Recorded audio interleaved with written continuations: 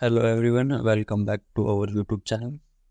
In this video, we will guide you through the process of resolving issues with the Stardust app not working.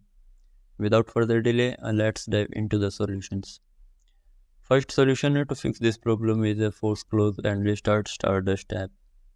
For that, uh, just open your phone setting and navigate to the apps or app manager. After that, uh, select the Stardust app from the app list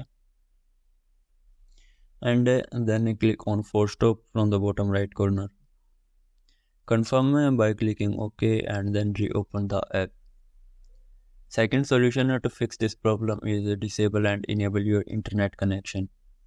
For that, uh, just um, head to the control panel of your mobile phone and activate aeroplane mode for 4 to 5 seconds then uh, turn it uh, off uh, because uh, by doing this uh, you will uh, disconnect from the internet and reconnect with them soon.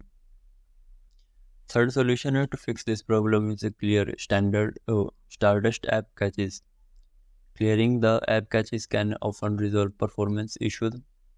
To clear stardust app caches go to your phone setting and open app manager again after that, uh, select the Stardust app once more.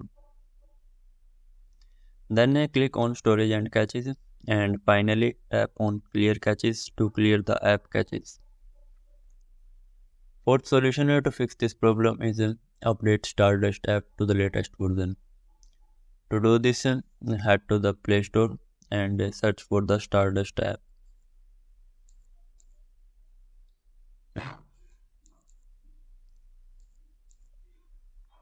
After that, uh, select the app. If an uh, update is available, uh, you will see an update button next to the app.